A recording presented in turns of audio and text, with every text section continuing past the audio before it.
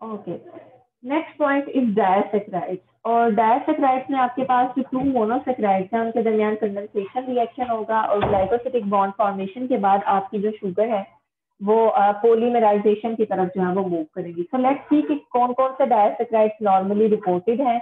इन disaccharide में किस तरह से जो है वो ग्लाइकोसिटिक बॉन्ड बनता है ग्लाइकोसिटिक बॉन्ड की नेचर क्या है, और फाइनल जो आपके पास डायसेक्राइड बचती हैं उनकी नेचर रिड्यूसिंग है या नॉन रिड्यूसिंग है? तो हम कुछ डायसेक्राइड को एज एन एग्ज़ाम्पल लेते हुए इन पॉइंट्स को क्लियर करेंगे, ठीक है?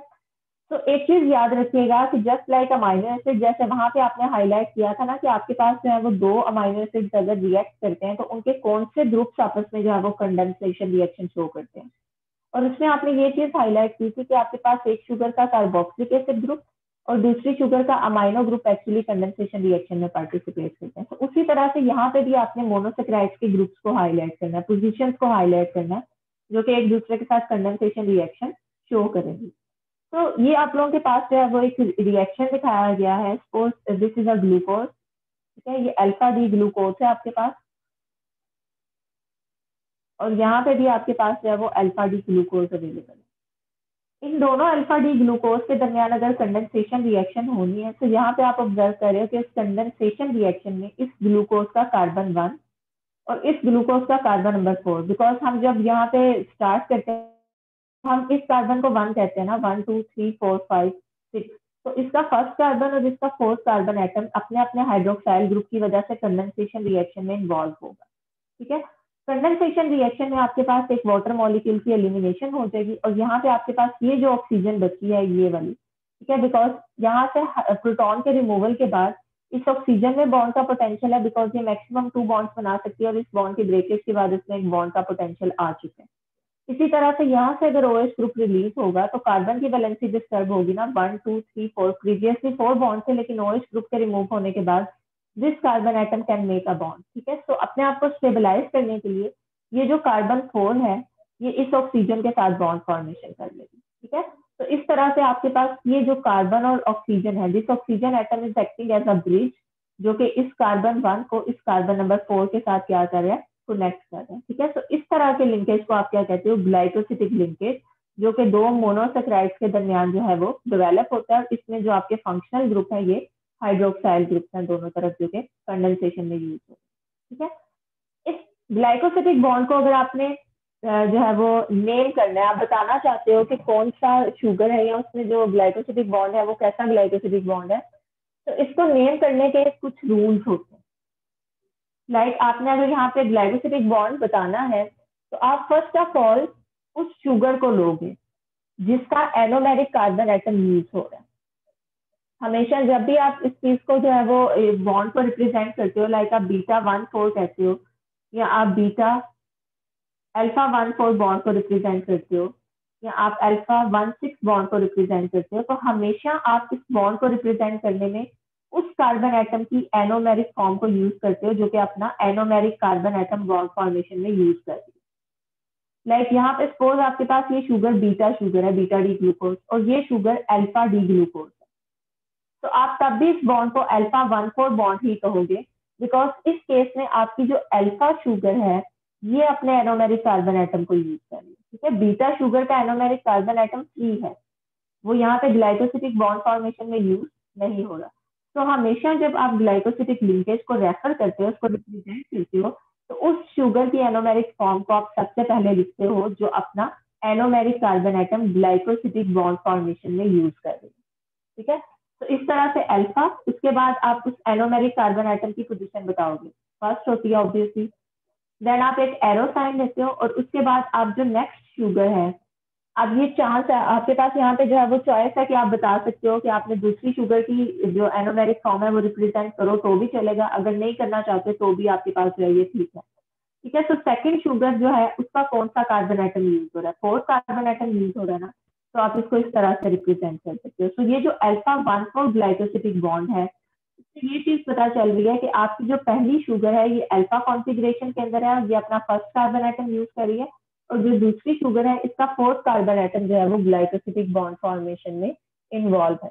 ये सबसे सिंपलेस्ट मेथड है किसी भी ग्लाइकोसिटिक बॉन्ड को रिप्रेजेंट करने का। अगर आप बुक में जाके देखोगे तो वहाँ पे थोड़ा टेक्निकली इस चीज़ को हाईलाइट किया गया। ठीक है? आपको ग्लाइकोसिटिक बॉन्ड इस तरह से रिप्रेजेंट हुआ हुआ नज़र आएगा, ठीक है? Alpha D glucopyranosyl one four D glucopyranose अब इस नेम को हम किस तरह से लिख सकते हैं? ये सिर्फ़ मैं इसलिए समझा रही हूँ ताकि आप लोग जो है वो जब बुक में पढ़ो तो समझ आ जाए कि इस केस में आपके पास ये जो नेम है, ये किस तरह से किसी डायसेक्राइड के स्ट्रक्चर को रिप्रेजेंट कर रहा है। ऑब्वियसली आप इस तरह से भी रिप्रेजेंट कर सकते हो, जैसे मैंने यहाँ पे बताया, ठीक है?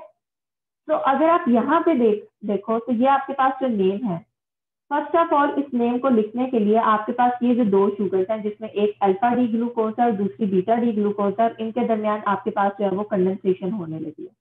इट मीन कि ये जो ओ OH ग्रुप है यहाँ पे, और ये जो ओ OH ग्रुप है, ये आपस में जो है वो कंडेंसेशन रिएक्शन के बाद ये ग्लाइकोसिटिक बॉन्ड फॉर्मेशन करेंगे। इसमें से वो वाली शुगर जो अपना एनोमेरिक कार्बन एटम यूज़ कर रही है फॉर दी बॉन्ड फॉर्मेशन ये अल्फ़ा कॉन्फ़िगरेशन में है और जो दूसरी शुगर जिसका एनोमेरिक कार्बन आइटम फ्री है, ये कौन सी कॉन्फ़िगरेशन में? बीटा कॉन्फ़िगरेशन में। तो ग्लाइकोसिटिक बॉन्ड को लिखने के लिए आप हमेशा लेफ़्ट टू राइट मूव करते हो। ठीक है? तो लेफ़्ट डायरेक्शन में आपने फ़र्स्ट ऑफ़ ऑल जो शुगर प्रेजेंट है, उसकी कॉन्फ़िगरेशन लिखी। अल्फ़ा या बीटा कौन सी कॉन्फ़िगरेशन में इसको स्पेसिफाई किया। उसके बाद उसकी स्टीरियो आइसोमेरिक फॉर्म लिखी। वो डी फॉर्म में है या एल फॉर्म में है? बाय डिफ़ॉल्ट हमारे पास जो लिविंग ऑर्गेनिज्म है, जिसमें एनिमल सेल्स की या प्लांट की बात करते हैं तो उसमें शुगर डी फॉर्म के अंदर प्रेजेंट होती है। तो ये आपके पास डी कॉन्फिग्रेशन होगी। उसके बाद आप बताओगे कि ये शुगर कौन सी है? ऑब्वियसली अगर ग्लूकोज है तो आप ग्लूको एंड देन जो रिंग वो बना रही है, उसको स्पेसिफाई करोगे। पायरानोज रिंग बनाती है तो आप यहाँ पे पायरानो साइड विच मीन्स कि आपकी जो लेफ़्ट साइड पे पहली शुगर है वो अल्फ़ा कॉन्फ़िगरेशन में है डी स्टीरियो आइसोमेरिक फॉर्म में है ग्लूकोज है और वो साइक्लिक शुगर है विच मीन्स कि वो पायरानोज की फॉर्म में प्रेजेंट ये शुगर अपना फ़र्स्ट कार्बन आइटम यूज़ करती है फोर्थ कार्बन आइटम के साथ, जो दूसरी शुगर है, उसके फोर्थ कार्बन आइटम के साथ बॉन्ड फॉर्मेशन करती है। और ये जो सेकेंड शुगर है, ये आपके पास बीटा कॉन्फ़िगरेशन में है डी स्टीरियो आइसोमेरिक फॉर्म में है अगेन ग्लूकोज है, और चूँकि यहाँ पे आपका स्ट्रक्चर एंड हो रहा है तो आप पायरानोसाइल की बजाय पायरानोज लिखो, ठीक है? बिकॉज़ ये जो वाई एल की सुफिक्स है, ये इस चीज़ को रिप्रेजेंट करती है कि आपका ये जो बॉन्ड है, ये अभी कॉन्टिन्यूस है स्ट्रक्चर अभी कॉन्टिन्यूस तो दो तो अब हम कुछ डायसेक्राइड का एज रेफरेंस यूज़ करते हैं। इनके दरमियान कौन कौन से ग्रुप्स हैं, किस किस्म का ग्लाइकोसिटिक बॉन्ड है और क्या ये रिड्यूसिंग है या नहीं? इन पॉइंट्स को क्लियर करते हैं। तो अभी जो आपने यहाँ पे डायसेक्राइड डिस्कस की है दिस डायसेक्राइड इज़ माल्टोज ठीक है? तो माल्टोज का आप बता सकते हो कि maltose is actually a disaccharide of two glucose जिसमें से एक ग्लूकोज आपकी अल्फ़ा कॉन्फ़िगरेशन में और दूसरी ग्लूकोज बीटा कॉन्फ़िगरेशन में लेकिन हमेशा ये चीज़ याद रखिएगा कि जो अल्फ़ा डी ग्लूकोज है, हमेशा ये अपना फ़र्स्ट कार्बन यूज़ करेगी और बीटा डी ग्लूकोज हमेशा फोर कार्बन यूज़ करेगी फॉर दी माल्टोज फॉर्मेशन तो माल्टोज में कभी भी बीटा शुगर का जो फ़र्स्ट कार्बन है, वो ग्लाइकोसिटिक बॉन्ड में यूज़ नहीं होता वो हमेशा फ्री होता है। ठीक है? तो इस केस में आपके पास जो ग्लाइकोसिटिक बॉन्ड होगा, वो कौन सा बॉन्ड होगा? Alpha one four glycosidic bond is it clear तो अब अगर इस माल्टोज की हम रिड्यूसिंग और नॉन रिड्यूसिंग नेचर को देखें तो मोनोसेक्राइड में मैंने आप लोगों से कहा था कि हमेशा आपकी सारी मोनोसेक्राइड रिड्यूसिंग होती है। अनटिल एंड अनलेस उनका जो फ़र्स्ट कार्बन आइटम है वो सब्सटीट्यूट ना हो जाए किसी दूसरे ग्रुप के साथ। लेकिन डायसेक्राइड में जो रिड्यूसिंग या नॉन रिड्यूसिंग प्रॉपर्टीज़ हैं, वो डिपेंड करता है कि आपके पास इस पर्टिकुलर डायसेक्राइड में कोई एनोमेरिक कार्बन आइटम फ्री है या नहीं। इस केस में आपके डायसेक्राइड में दो मोनोसेक्राइड हैं और उन दो मोनोसेक्राइड में से एक मोनोसेक्राइड की anomeric carbon atom glycosidic bond formation में इन्वॉल्व है विच मीन्स कि ये फ्री नहीं है। जबकि दूसरी मोनोसेक्राइड की एनोमेरिक कार्बन एटम फ्री है। तो ये डायसेक्राइड इस एनोमेरिक कार्बन एटम की वजह से रिड्यूसिंग प्रॉपर्टीज़ शो कर सकते हैं। तो आप कह सकते हो कि आपका जो माल्टोज है, ये रिड्यूसिंग डायसेक्राइड है बिकॉज़ इसमें दो में से एक एनोमेरिक कार्बन एटम जो है वो अवेलेबल है। इसी तरह अगर आप लेक्टोज की बात करते हो तो लेक्टोज में फ़र्स्ट ऑफ़ ऑल आप लोगों ने ये चीज़ आइडेंटिफाई करनी है कि लेक्टोज किन दो शुगर से मिलकर बना है। ठीक है? तो लेक्टोज इज़ अ डायसेक्राइड जिसमें आपके पास एक शुगर बीटा डी ग्लेक्टोज है, और दूसरी शुगर है आपके पास बीटा डी ग्लूकोज ठीक है? और यहाँ पे आपके पास जो ग्लाइकोसिटिक बॉन्ड है उस ग्लाइकोसिटिक बॉन्ड में आपके पास जो ग्लेक्टोज है ग्लेक्टोज अपना कार्बन नंबर वन यूज़ करता है। और जो ग्लूकोज है, ये कार्बन नंबर फोर को यूज़ करता है। तो यहाँ पे आपके पास जो बॉन्ड है this is beta one four glycosidic bond जिसमें फ़र्स्ट कार्बन एटम ग्लेक्टोज में डोनेट करना है और फोर्थ कार्बन एटम ग्लूकोज में डोनेट करना है। अक्सर बच्चे इस चीज़ की मिस्टेक करते हैं कि जब उन्हें लेक्टोज का स्ट्रक्चर ड्रॉ करने के लिए कहा जाता है तो वो इस चीज़ को कंसीडर नहीं करते कि ग्लूकोज ने फ़र्स्ट कार्बन यूज़ करना है या ग्लेक्टोज ने फ़र्स्ट कार्बन यूज़ करना है। वो सिंपली ग्लूकोज और ग्लेक्टोज में किसी भी दो ग्रुप्स को जो है वो यूज़ करते हुए ग्लाइकोसिटिक बॉन्ड फॉर्मेशन यहाँ पे बता देते हैं। लेकिन ये चीज़ जो है ये ठीक प्रैक्टिस नहीं है। हमेशा आपके पास ग्लेक्टोज जो है वो अपना फ़र्स्ट कार्बन या एनोमेरिक कार्बन आइटम यूज़ करती है और जो ग्लूकोज है वो अपना फोर्थ कार्बन आइटम यूज़ करती है। और ग्लूकोज का एनोमेरिक कार्बन आइटम यहाँ पे हमेशा क्या रहता है? फ्री रहता है ठीक है?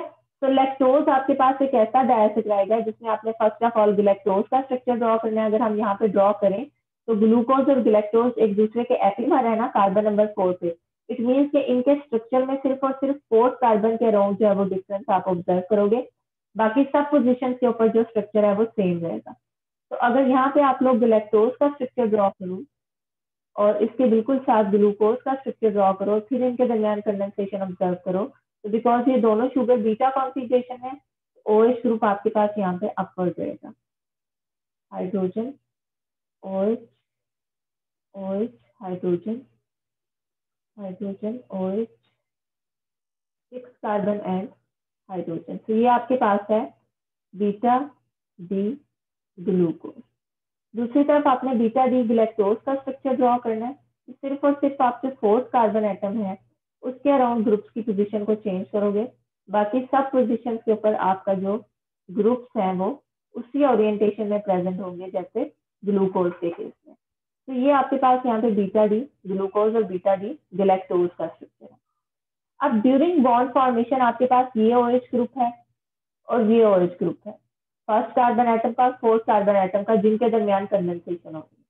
तो इस केस में आपके पास ये जो ऑक्सीजन यहाँ से अगर प्रोटॉन रिलीज़ हो रहा है और यहाँ से पूरा ओएच ग्रुप रिलीज़ हो रहा है तो ये ऑक्सीजन इस केस में इस कार्बन आइटम के साथ बॉन्ड बनाएगी ना। तो यहाँ पे आपको ये जो बॉन्ड है, ये स्लिप पोजिशन में नज़र आता है।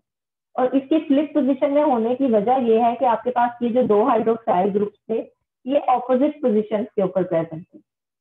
यहाँ पे जो आपका हाइड्रोक्साइड ग्रुप है, ये अपर था और यहाँ पे हाइड्रोक्साइड ग्रुप डाउनवर्ड था। तो बॉन्ड फॉर्मेशन में ये जो ऑक्सीजन है, ये इन दोनों पोजिशन को जो है वो ब्रिज करती है। यानी इस केस में आपका जो बॉन्ड है, वो बिल्कुल इस तरह से स्ट्रेट आपको नज़र नहीं आता, बल्कि स्लिप ओरिएंटेशन में नज़र आता है विच मीन्स कि ये ऑक्सीजन यहाँ पे अपवर्ड पोजिशन में है और ये यहाँ पे जो डाउनवर्ड पोजिशन से ग्रुप रिप्लेस हुआ है, उसको कंपनसेट करने के लिए एज अ ब्रिज यहाँ पे अटैच है। तो आपके पास यहाँ पे जो ग्लाइकोसिटिक बॉन्ड होगा this glycosidic bond beta one four glycosidic bond और अगेन अगर आप लेक्टोज की रिड्यूसिंग या नॉन रिड्यूसिंग प्रॉपर्टीज़ को ऑब्ज़र्व करो तो आप देख सकते हो कि लेक्टोज में जो ग्लूकोज है, उस ग्लूकोज का एनोमेरिक कार्बन आइटम फ्री है। तो इस एनोमेरिक कार्बन आइटम के फ्री होने की वजह से आपका जो लेक्टोज है, इसको भी आप कह सकते हो कि this is a reducing disaccharide it is a reducing sugar ठीक है? और फाइनली आपके पास ये आपके पास लेक्टोज फॉर्मेशन है, इसमें आप दोबारा से ऑब्ज़र्व कर सकते हो कि बीटा डी ग्लूकोज और बीटा डी ग्लेक्टोज के दरमियान कंडेंसेशन के बाद आपके पास ये स्ट्रक्चर बनता है, जिसमें ग्लूकोज का एनोमेरिक कार्बन आइटम फ्री है बट ग्लेक्टोज का एनोमेरिक कार्बन आइटम फ्री नहीं है, ये कंडेंसेशन रिएक्शन में इन्वॉल्व है। तो फाइनल शुगर आपके पास आ जाती है सुक्रोज जिसमें अगर आप फ़र्स्ट ऑफ़ ऑल मोनोसेक्राइड को आइडेंटिफाई करो तो सुक्रोज में आपके पास दो मोनोसेक्राइड हैं, जिसमें एक मोनोसेक्राइड आपके पास अल्फ़ा डी ग्लूकोज है और दूसरा मोनोसेक्राइड आपके पास बीटा डी फ्रुक्टोज है। यानी आप कह सकते हो कि इस केस में आपके पास जो है वो एल्डोहाइड्रोज और कीटोहाइड्रोज इन दोनों का डायसेक्राइड है सुक्रोज ठीक है? तो अल्फ़ा डी ग्लूकोज और बीटा डी फ्रुक्टोज के दरमियान जो रिएक्शन होगा, उसमें ये आप लोगों के पास ग्लूकोज का स्ट्रक्चर है। और ये आपके पास फ्रुक्टोज का स्ट्रक्चर है। ये आपके पास पायरानोस रिंग है और ये प्यूरानोस रिंग है। तो इस केस में आपके पास जो बॉन्ड बनता है, वो बॉन्ड के दो ग्रुप्स के दरमियान बनता है। इस केस में आपका जो ग्लूकोज है, उसका एनोमेरिक कार्बन आइटम यानी फ़र्स्ट कार्बन आइटम और जो फ्रुक्टोज है, इसका second carbon atom this is carbon number one two three four five and ठीक है? तो इस केस में एक्चुअली इसको फ्लिप करके ड्रॉ किया गया नॉर्मली हम फ्रुक्टोज के स्ट्रक्चर को इस तरह से रिप्रेजेंट करते हैं, लेकिन यहाँ पे चूँकि बॉन्ड इस सेकेंड कार्बन एटम में बना है ग्लूकोज का कार्बन नंबर वन और फ्रुक्टोज का जो सेकेंड कार्बन एटम है, इसने बॉन्ड फॉर्मेशन के लिए यूज़ होना है, इसलिए इसको इस तरह से ड्रॉ किया गया अदरवाइज़ आप नॉर्मली जब इसका स्ट्रक्चर ड्रॉ करते हो तो वो इस तरह से ड्रॉ करते हैं, जिसमें हम नंबरिंग इस एंड से स्टार्ट करते हैं। Carbon one two three four five और इस केस में आपके पास जो है वो ये सिक्स ठीक है? तो इस केस में आप इसको फ्लिप ओरिएंटेशन में देखते यानी आपकी ये वाला जो ग्रुप है, ये यहाँ पे आप इसको ऑब्ज़र्व करें। तो अगर आप इसको इस तरह से रोटेट करके इस ओरिएंटेशन में लेके आओ तो ये आपके पास कार्बन आइटम कौन सा होगा? Second carbon atom so hydroxyl group from carbon number one of glucose and carbon number two of fructose ये कंडेंसेशन रिएक्शन के बाद यहाँ पे ग्लाइकोसिटिक बॉन्ड फॉर्मेशन करेंगे। तो इस केस में आपके पास जो ग्लूकोज है, उसका एनोमेरिक कार्बन आइटम बिकॉज़ ये कीटोहाइड्रोज है, इस केस में फंक्शनल ग्रुप सेकंड पोजीशन पे प्रेजेंट था ना, और फंक्शनल ग्रुप कंटेनिंग कार्बन को ही हम एनोमेरिक कार्बन कहते हैं। ये भी ग्लाइकोसिटिक बॉन्ड फॉर्मेशन में यूज़ है, और ग्लूकोज का जो फ़र्स्ट कार्बन आइटम है जिसमें फंक्शनल ग्रुप प्रेजेंट होता है, जिसको हम एनोमेरिक कार्बन आइटम कहते हैं, ये भी बॉन्ड फॉर्मेशन में यूज़ है। तो आपके पास सुक्रोज एक ऐसा डायसेक्राइड है जिसको आप नॉन रिड्यूसिंग डायसेक्राइड कहते हो। बिकॉज़ इस केस में जो आपकी दोनों कॉन्स्टिट्यूएंट मोनोसेक्राइड्स हैं ग्लूकोज और सुक्रोज वो दोनों अपने अपने एनोमेरिक कार्बन आइटम को ग्लाइकोसिटिक बॉन्ड फॉर्मेशन में यूज़ कर चुके हैं। और इस केस में जो आपका ग्लाइकोसिटिक बॉन्ड होगा this will be alpha one and beta two glycosidic bond यानी फ़र्स्ट और सेकेंड पोजिशन के दरमियान आपका बॉन्ड बन रहा है ठीक है? तो आप इसको अल्फ़ा वन टू या अल्फ़ा वन और बीटा टू ग्लाइकोसिडिक बॉन्ड भी कह सकते हो विच मीन्स के अल्फ़ा डी ग्लूकोज का फ़र्स्ट कार्बन एटम और बीटा डी फ्रुक्टोज का सेकेंड कार्बन एटम यहाँ पे कंडेंसेशन रिएक्शन में इन्वॉल्व है। और इस तरह से आपके पास जो बनने वाली जो डायसेक्राइड है, वो क्या होगी? नॉन रिड्यूसिंग होगी तो ओवरऑल आप कह सकते हो कि किसी भी डायसेक्राइड की जो रिड्यूसिंग या नॉन रिड्यूसिंग प्रॉपर्टीज़ है, वो उसमें फ्री एनोमेरिक कार्बन एटम की वजह से है। जो कि आपने माल्टोज में भी ऑब्ज़र्व की है। माल्टोज में आपके पास फ्री डायसेक्राइड यहाँ पे free anomeric carbon atom present है। तो ये रिड्यूसिंग शुगर है। इसी तरह से लेक्टोज में भी आपने फ्री एनोमेरिक कार्बन आइटम को ऑब्ज़र्व किया है। तो ये भी आपके पास एक रिड्यूसिंग शुगर है। बट सुक्रोज में आपकी जो दोनों एनोमेरिक कार्बन आइटम्स हैं carbon one of glucose and carbon two of fructose ये ग्लाइकोसिटिक बॉन्ड फॉर्मेशन में इन्वॉल्व है। इट मीन्स कि यहाँ पे ये जो शुगर है, आपके पास ये एनोमेरिक शुगर नहीं सॉरी ये रिड्यूसिंग शुगर नहीं है। ये कौन सी शुगर होगी? Non reducing